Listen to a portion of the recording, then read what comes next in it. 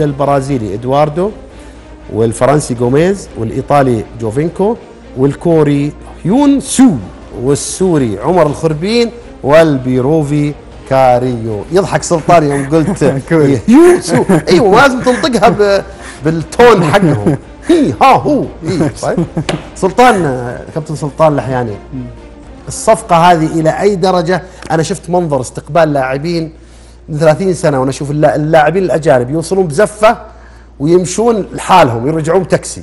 هذا اللاعب تتوقع يرجع بليموزين ولا يرجع بتاكسي؟ لا حسب حسب ما, ما شفنا من أو نعرف من CV ل هذا اللاعب ومساته مميزة قدمها سواء مع الفريق أو حتى مع المنتخب. وحتى فيما كان الحاجة للهلال أعتقد إنها صفقة مهمة لنادي الهلال. شفنا الموسم الماضي كيف في آخر الموسم والثلث الأخير من الموسم كيف الإصابات اللي حصلت فريق الهلال في هذه الخانة. وكيف تأثر وعمل drop كبير في مستوى الهلال. أعتقد إن المواصفات اللي يمتلكها جوستافو كيلار حتضيف إضافة كبيرة متى ما أحسن آه، لوتشيسكو في توظيف هذا اللاعب مع المجموعة بشكل كامل.